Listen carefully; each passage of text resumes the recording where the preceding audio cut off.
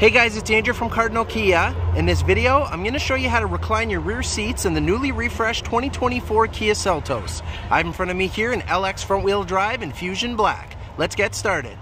Okay, so to start us off, we're going to head into the rear seats.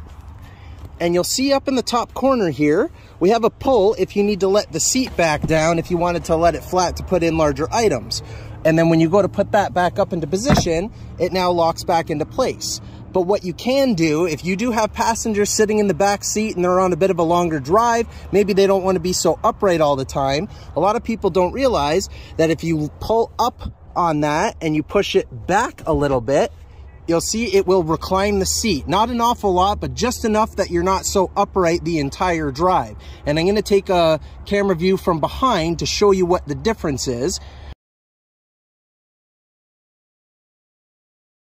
And then when you need to go and put it back into position, you just lift up on it and then bring it back up into the other position. So there's only three different positions. There's going to be the reclined position, the standard position, and then when the seat back is fully flat.